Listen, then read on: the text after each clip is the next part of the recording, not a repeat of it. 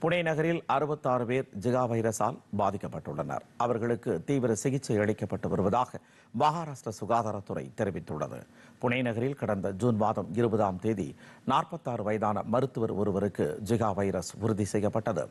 இந்நிலையில் கடந்த ஜூன் மாதம் முதல் இதுவரை அறுபத்தாறு பேர் ஜிகா வைரஸ் பாதிப்புக்கு ஆளாகியுள்ளதாகவும் இதில் இருபத்தாறு பேர் கர்ப்பிணி பெண்கள் என்றும் புனே மாநகராட்சி நிர்வாகம் குறிப்பிட்டுள்ளது.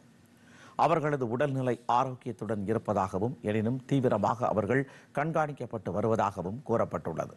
முன்னதாக அறுபத்தி எட்டு முதல் எழுபத்தி எட்டு வயது வரை உள்ள நான்கு பேர் உயிரிழந்த நிலையில் அவர்களுக்கு பல்வேறு உடல்நல பாதிப்பு இருந்ததாகவும் ஜிகா வைரஸ் பாதிப்பால் அவர்கள் உயிரிழந்தது உறுதி செய்யப்படவில்லை என்றும் புனே மாநகராட்சி நிர்வாகம் தெரிவித்துள்ளது.